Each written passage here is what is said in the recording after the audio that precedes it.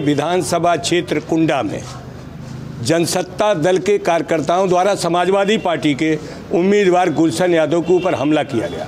और बहुत से बूथों पर जनसत्ता दल के लोग दबंग किस्म के लोग हैं वो लोग बूथों पर कब्जा किए हुए हैं। इस बात की चिंता करके हम समाजवादी पार्टी के राष्ट्रीय अध्यक्ष के निर्देश पर माननीय अखिलेश यादव जी के निर्देश पर हम और हमारे चौधरी साहब मुख्य प्रवक्ता हैं पार्टी के राष्ट्रीय नेता हैं दोनों लोग अभी मुख्य निर्वाचन अधिकारी से ये शिकायत दर्ज कराई है कि वहाँ पर जो बूथों में कब्जा हो रहा है वो कब्जा हटाया जाए और जहाँ पर बूथों में कब्जा हुआ है वहाँ दोबारा चुनाव कराया जाए। सर क्या उन्होंने क्या आश्वासन दिया है? उन्होंने कहा है कि हम अभी पूछ रहे हैं जाँच रहे हैं जिलाधिकारी से पूछ रहे हैं किसी से पूछ रहे हैं। हमने कहा ये बहुत चिंता का विषय है।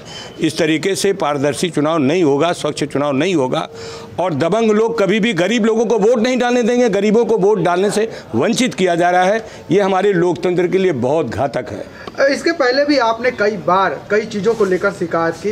क्या उसका समाधान हुआ? देखिए शिकायत करना हमारा कर्तव्य भी है हमारा अधिकार भी है। समाजवादी पार्टी समय समय पर अधिकारियों द्वारा किए जा रहे गलत कार्यों के विरोध में जो हमारे अनुमन्य अधिकारी हैं, मुख्य निर्वाचन अधिकारी, मुख्य निर्वाचन आयुक्त तो उनके पास हम समय समय पर अपनी शिकायत दर्ज कराते हैं कि कार्रवाई की जाए। लेकिन बड़े अफसोस की बात है कि इस लोकतंत्र में मुख्य निर्वाचन आयुक्त से लेकर मुख्य निर्वाचन अधिकारी के यहाँ, उन पर कार्यवाही में बहुत शिथिलता की जा रही है, जिससे हमें निष्पक्ष चुनाव होने की संभावना कम लग रही है।